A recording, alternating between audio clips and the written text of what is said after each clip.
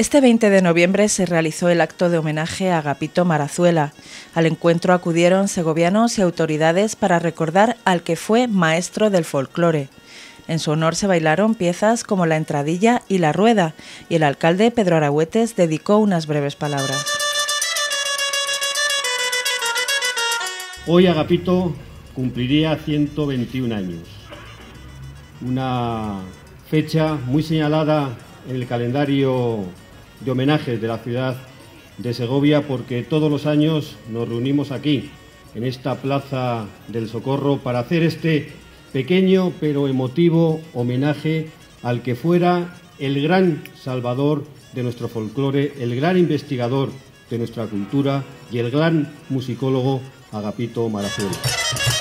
El grupo La Esteba finalizó la tarde con una pieza tradicional.